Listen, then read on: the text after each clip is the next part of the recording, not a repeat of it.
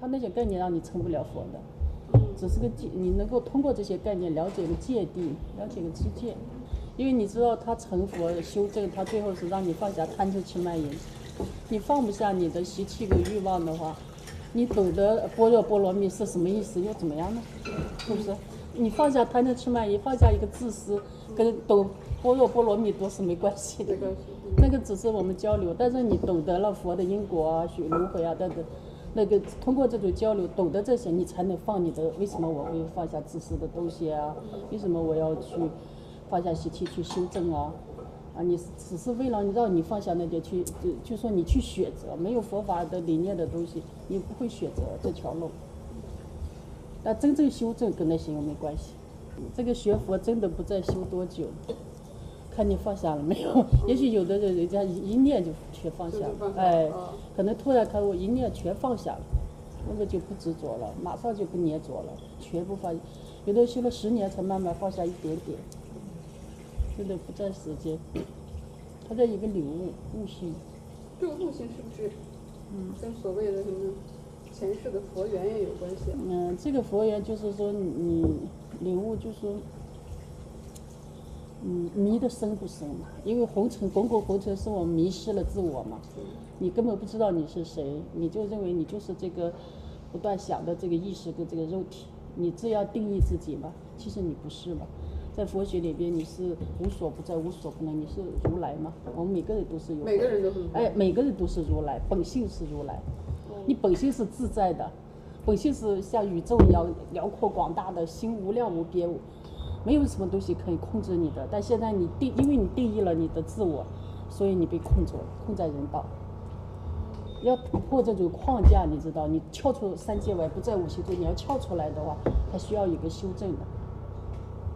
因为你所有的观念都是人道的东西，时间、空间、颜色、方位，全是人道的，这些东西都要破的。所以佛学是连时空都要破的，最后连时间、空间你都是错的。你的人道的所有的东西，啊是啊，人道的。我觉得好破，但是破连空自我，你自我包括这些啊。你的自我是在佛学，你的自我是无形无相的，你是没有自我的。自我是一个定义来的。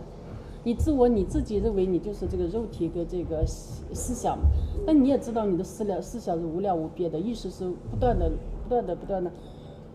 啊，在一年年每每一年刹那刹那在无常的变化，你也不知道下一刻会变成什么样，是不是？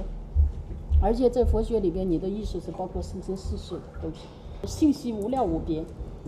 你知道你的意识包含了无量无边的图片，就像你的手机内存，无量无边的图片，无量无边的声音，无量无边的味觉、嗅觉、感觉、触觉，你全在里边储存的，生生世世的六道啊。有六道的东西都在里边，你生生世世做过很多很多东西，而你对镜的时候，对到我的时候，或者对镜的时候，你只提提取一部分，提取出来，然后定义我。假如你跟我说话，你看到我的脸像什么，好看不好看，或者你认为怎么样，全是从你那边提取了一些信息过来，然后加在我在我这贴标签，贴完了，然后说你是什么样的，你好看或者不好，你喜欢你不喜欢，你胖瘦，那全是你看过来的。因为你提取你的信息定义的我，所以没有一个人真实的以我的样子看我，也没有人你从来我们从来看不清对面那个人的，不认识的。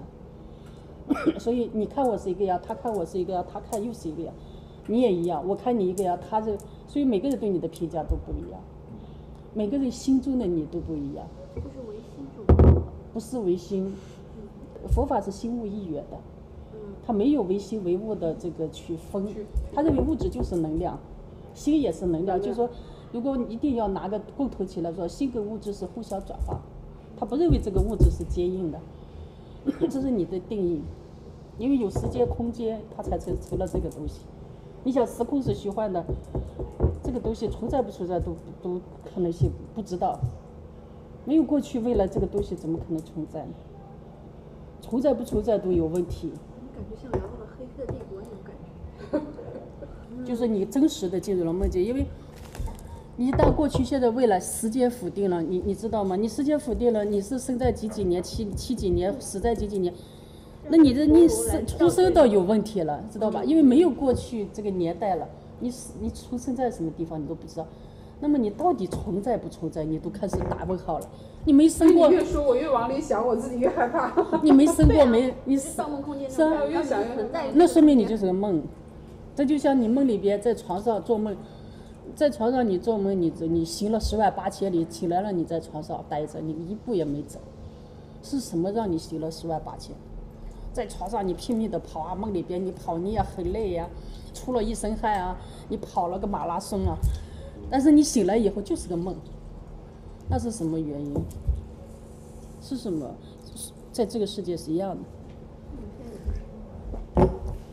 所所以佛学佛说，你认知的世界是个梦，就是因为我们认认知不了原全部的，你你是三维角度，俩二元对立的看问题，你才这么个面儿，很窄的看这个世界嘛，你这就看不见嘛，就就这么点，你的眼耳鼻舌都有局限的，你很有局限的看这个东西，就像就像你拿个很小的孔看一个桌子，你能看多少呢？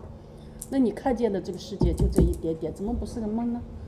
你你你看了这么点，然后在这么点里边较真执着，然后做你所有的事情，你这跟做梦有啥区别？那就是那就纯粹就是我全是错觉嘛。哎，我发现一个问题，就是嗯例如说我对当下特别嗯呃认真，或者是对当下特别有感触力，嗯，当下是什么？首先你告诉我，就是例如说我这一刻的感受，我的感受就很很你知道当下是从前面流过来的吗？就像水流一样，你的时空，你你你跟我说时空的时候，过去、现在、未来这样从你脸前像像水一样流过去。你说过去的对你没意义，你只是对你来说可能那个什么有过去了，你不太在乎，说明你很有定力，过去未来不太担忧。但是当下根本就没有，对你来说，如果当下是个时间的话，怎么这这叫当下吗？这个阶段，你看你你什么叫的？它是一个流动啊，是你的你的你的意识一直在过去留下未来，过去留下未来，哪哪块儿停住了？给你，你的意识什么时候停止过？没有当下，没有这个时间，没有现在可以说。